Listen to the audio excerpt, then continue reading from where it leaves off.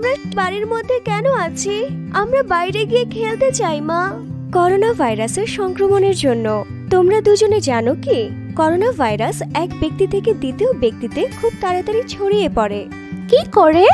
যখন কোনো লোক যিনি করোনা ভাইরাসে সংক্রমিত হয়েছেন হাঁচে বা কাশে তখন ওনার মুখ থেকে নির্গত ছোট ছোট বিন্দুতে লুকানো করোনা ভাইরাস ওনার আশেপাশে হাওয়ার সাথে সাথে শরীরের ত্বক বা চামড়া জামা কাপড় এবং আশেপাশে রাখা অন্য জিনিসপত্রে আঠার মতো লেগে যায় এবং সুস্থ ব্যক্তি যখন সংক্রমিত ব্যক্তির কাছে যায় বা পাশে রাখা বস্তুকে স্পর্শ করে, তখন ভাইরাস তারও হাতে আঠার মতো লেগে যায়। এরপর যখন উনি নিজের মুখ স্পর্শ করে, তখন ভাইরাস মুখ, নাক বা চোখের মধ্যে দিয়ে শরীরে প্রবেশ করে এবং তাকে অসুস্থ করে দেয়।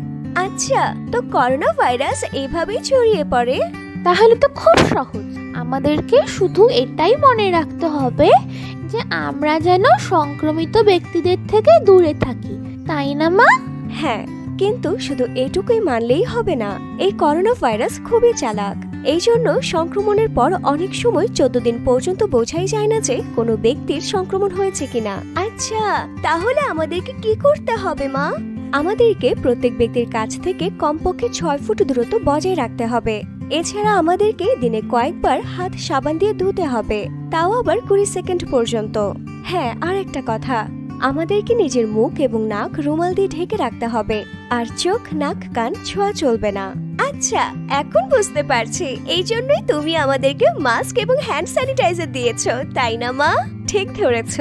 তো, আমরা যখন জেনেই গেছি করোনা ভাইরাস কীভাবে ছড়িয়ে পড়ে, তাহলে চলো আমরা ওটাকে ওর স্টাইলে হারাই। একদম সুপার হিরোর মতো।